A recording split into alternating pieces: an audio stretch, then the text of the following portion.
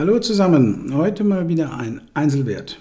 Wir haben den 21. Oktober, es ist 17.33 Uhr und in diesem Clip geht es um die Deutsche Telekom. Vor euch liegt der Wochenchart, eine Kerze, eine Woche seit dem 22.02.2016. Ich möchte diese Geschichte hier mal erklären, weil wir sehen das gleich im Tageschart auch. Das ist so eine Soft Landing Area. Ihr seht, wo die herkommt. Das sind hier die Hochs. Ich werde es gleich deutlicher zeigen. Und die Tiefs. Das habe ich verbunden, habe dadurch diesen kleinen Kasten hier bekommen. Wir sind über das MACD, jetzt gehe ich mal ein bisschen näher ran, sind wir noch negativ.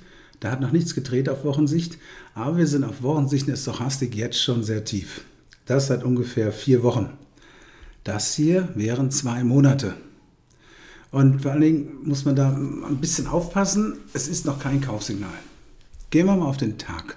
Das ist jetzt hier der Tag und jetzt erkläre ich nochmal hier diese blaue Zone für meine ebenfalls farbenblinden Kollegen. Das ist blau und das ist schwarz.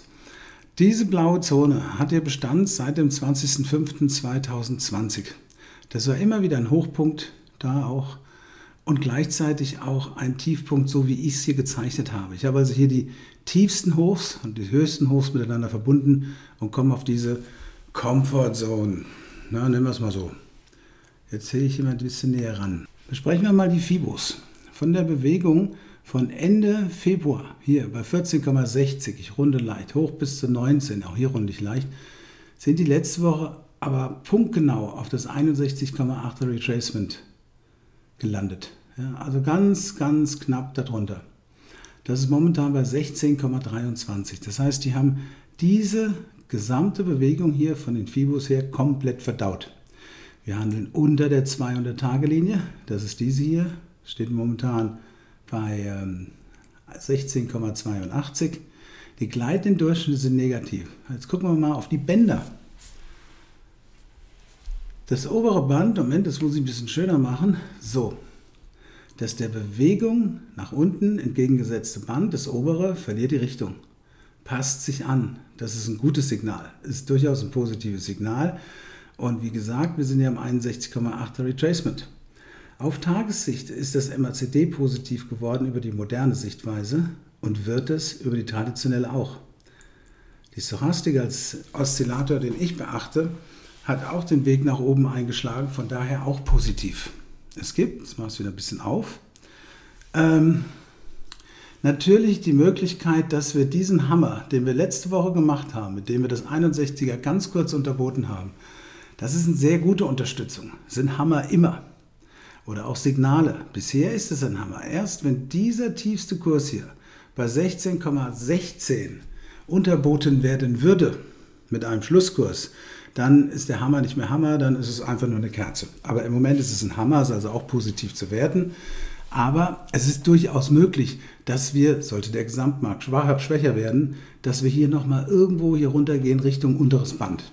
Alleine, ich habe zu viele Signale, gleitende Durchschnitte noch nicht, aber Bollinger Band, MACD, Stochastik, Hammer, ähm, Fibonacci, die mir hier einen Boden anzeigen. Ich mag das. Ich mag das, muss ich wirklich sagen. Ich finde das eigentlich ganz gut. Und jetzt kommt noch eins hinzu. Und das ist eigentlich dann für mich der Startschuss für eine bessere Bewegung. Und zwar ist das diese Geschichte hier. Dieser Downtrend hier ist viermal berührt worden. Der hat also absolut jede Berechtigung, beachtet zu werden.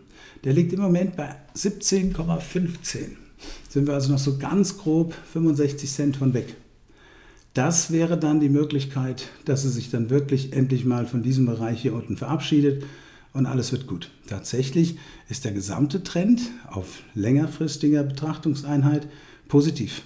Der ist immer, also ist positiv geworden und bleibt auch positiv. Der wird erst negativ, wenn wir unter 15,85 gehen. Das sehe ich halt momentan noch nicht. Ich glaube, dass die hier äh, eine gute Unterstützung finden werden. Vor diesem Hintergrund habe ich mich für folgenden Schein entschieden. Dieser Schein hat einen Hebel von 10, etwas über 10 und eine K.O.-Grenze von 14,90. Die Kennnummer ist die HR9U43. 14,90. Da liegen wir ungefähr hier. Und wir liegen auch unter der ähm, 200-Wochen-Linie SMA, Simple Moving Average. Also da ist auch nochmal eine Unterstützung. die wir da haben. Von daher ist der Hebel nicht so hoch, aber gemütlich. Telekom ist ein sehr schönes Dividendenpapier, die zahlen immer so zwischen 50 und 70 Cent. Und von daher sind die auch schon da gut unterstützt. Aber ich glaube, wenn wir die 17,15 komplett rausnehmen, dann ist der Weg oben zu 19, 20 besser und freier. Es gab gestern eine Analystenschätzung, die sieht die Telekom bei 28,80. Das finde ich mutig, aber alles über 20 kann ich im Prinzip akzeptieren. So bis 20 bis 25 finde ich eigentlich durchaus gerechtfertigt. Die Musik wird nicht in Deutschland gemacht, sondern vielmehr in Amerika. Und da sieht es insgesamt wirklich ganz gut aus.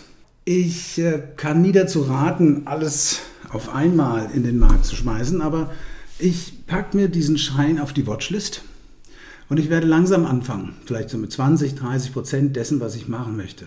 Und denke dann, die Position fertig zu machen, sprich komplett zu kaufen, über den Bruch von diesem Downtrend hier.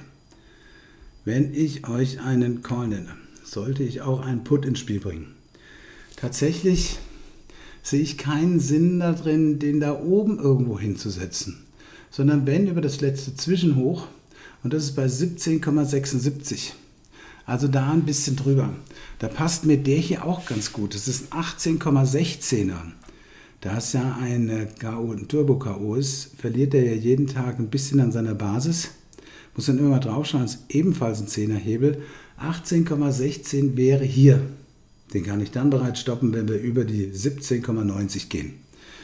Dieser Putter, die Kennnummer HR9S7L. HR9S7L.